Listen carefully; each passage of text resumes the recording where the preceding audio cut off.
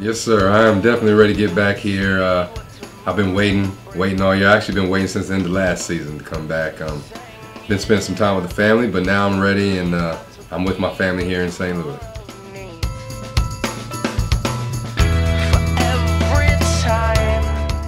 Well, we have a, a, like a rookie, a rookie mini camp that we're gonna have 21st and 22nd for about two days with the new guys uh, to go over stuff. And our, some of our sign guys are in town. But camp does official camp for our season doesn't start till March 8th.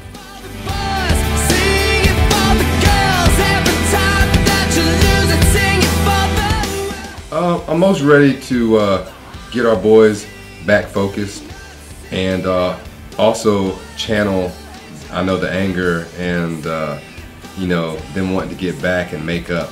Redemption, I think, is the best word for for this new season. I'm ready to get back out there for to redeem ourselves because I feel like we we we didn't do the best performance we could have at the end, and I still feel like we have something to prove.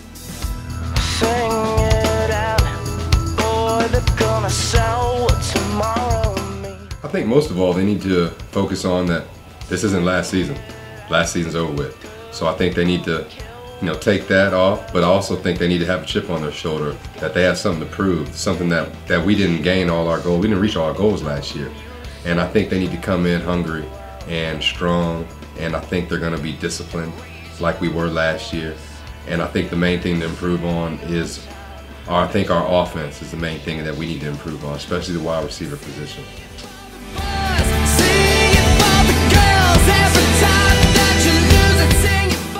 Roster's shaping up very well. We've been uh, going all over the country looking for people, especially in St. Louis, Missouri. We've been at every school and university and trying to call everybody we can. Every apartment complex in St. Louis, trying to find everybody we can. And um, I think our roster looks very good. We got a bunch of local talents, a bunch of local great players here.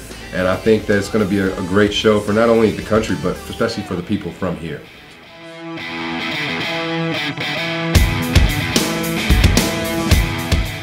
I think in professional football, it's a very big thing not to have a huge turnover, like like at McDonald's or something like that. I think as you can see in the NFL, you know, the teams that succeed year to year, the teams that don't have the 20, 15, 10 guy turnover every year, it's almost impossible to to win when you have to reach each everything and when guys have to come together and feel like a family. It takes time, and I think that you get rid of them, you bring in a new guy, it, it, they have to build.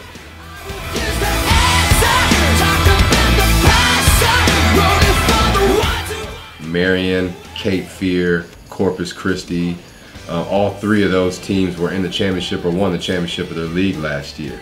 To go along with Florida and ourselves, it's going to be a packed house in there, and getting into the playoffs is going to be a hard, hard thing. And that's why I think that, you know, the couple new roster guys that we brought in are really to upgrade the team and help out with the new challenges of the league.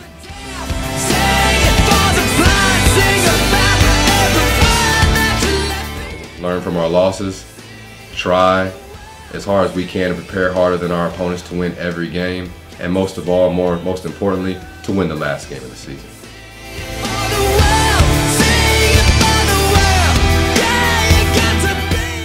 Fans should come out to see the attack because it's a great football product on the field. Not only is it a great football product and you know success everybody wants to see winning, but wins or losses aside, the local guys to show you guys the local talent that you do have. You guys do have great local talent here in St. Louis and in Missouri and the whole state. So I think it's good for the local guys to come out here and see that. Local fans to come out and see the local product that they've grown and watched all through high school and college, and we can do it professionally too. I think that's a great thing.